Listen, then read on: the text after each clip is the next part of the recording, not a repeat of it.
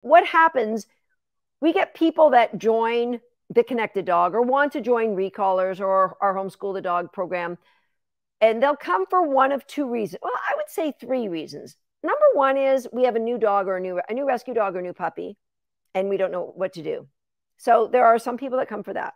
There are some people that say i really dig this reinforcement based dog training. I love your Shaped by Dog podcast and i just want to learn more. I'm hungry to really make this investment in my dog and myself so this is how I want to spend my time training my dog.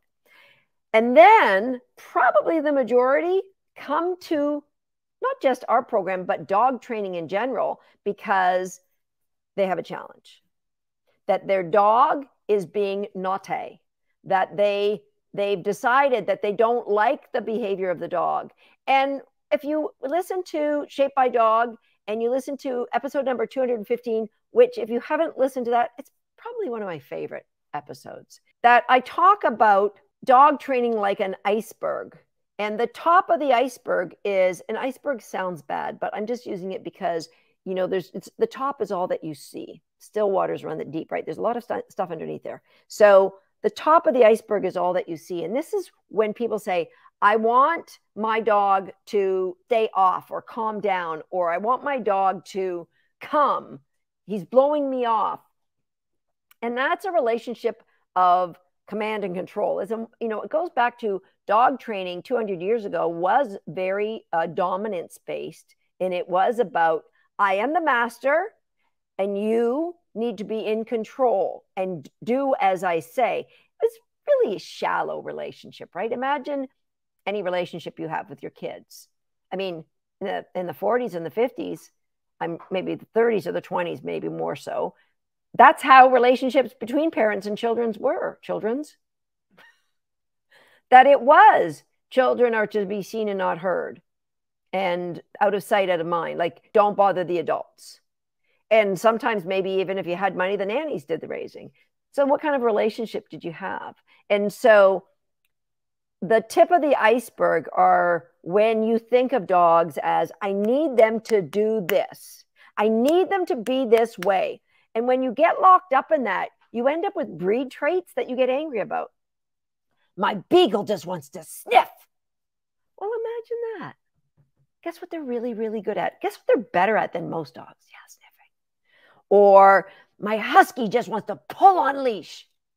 So I'm not saying these characteristics means your dog can't be trained. I'm just saying you have to be a bit more patient and open minded about your approach to the training. So, wanting the dog to be something or do something is about, I need to control my dog. My dog needs to be under my control. Right. And so, what you're doing in the connected dog is we're creating a different relationship. It's not one where we're looking to control because one of the things you learn really early on as a competitor and I've been a competitor at world championships for decades and decades.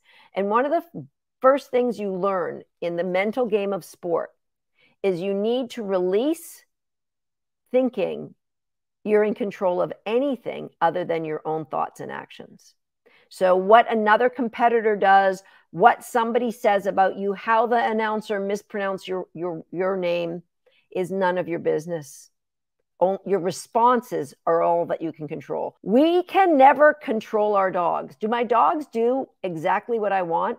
I wouldn't be willing to bet 90% or more of the time they do. And the other 10% with a second reminder they would. But I never believed I had the right to expect them to. Their responses are feedback. And that middle area beyond command and control, where we get a deeper relationship with our dogs, is one of cooperative teamwork. If you're playing the games in the connected dog, I bet you're already seeing that, where your dog is looking forward to these training sessions, where they're getting a little more sparkly, where they're getting more. You you might have described your dog as, oh, he's lethargic, he's bored, he's not, he doesn't really like much.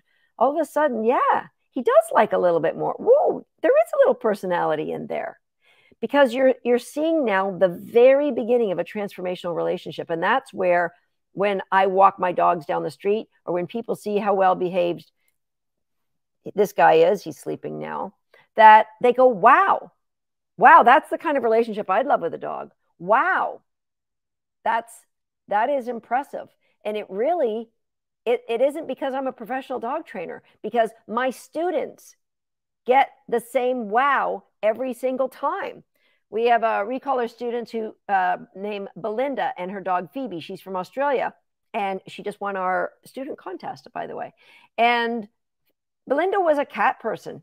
She never had a dog, never had any desire to have a dog. And she was driving to work one day and found this weak, frail little puppy, a bag of bones that somebody had pitched into the ditch.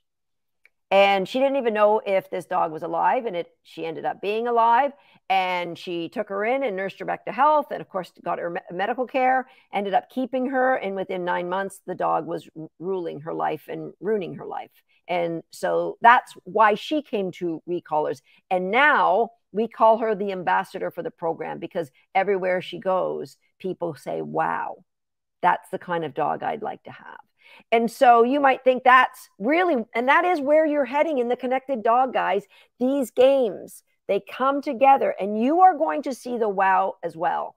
With the It's Your Choice game, I remember I was giving a lecture at the United States Pug National Championship many, many years ago. I think it was in Wisconsin and I was at the the the soiree a the night before, and one of the uh, executives they had all these like cold cuts on a coffee table. It was a big round coffee table, and the, I don't know the president, or the vice president, somebody came in and said, "Wow, it's a good thing there's no going to be no pugs coming to this event. That table would be cleared." And I laughed and I said, "I could help you with that." And he, he's like, well, maybe you could help somebody with another dog, but my dog's a rescue dog. And so the justification starts. My dog is a rescue dog. He's always stolen food. He's six years old. He's not trainable, yada, yada, yada. I said, Is there anything else you'd like to share? Because when we're done, or even like we've got an hour before you start, I could show you how your dog will ignore all that food. And it would only take me, I don't know, 15 minutes. And I did like I did four little sessions of two or three minutes. And then the dog was walking around, not looking at the table. And the man's jaw was down to here. And he said, Wow, one transformational game.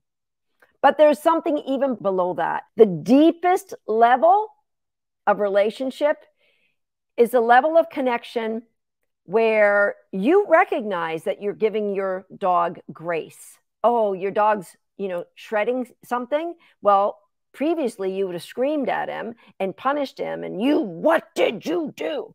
And now you realize that you turn everything on yourself and you look through the lens of what can I control? Can I control my dog making these choices when I'm not here? No, but I can control the dog's desire to make them. And so it's not what did you do? It's what did I do? I left you alone in a big area before I get, had 100% confidence that you'd make the right choice buddy, I'm not going to do that again.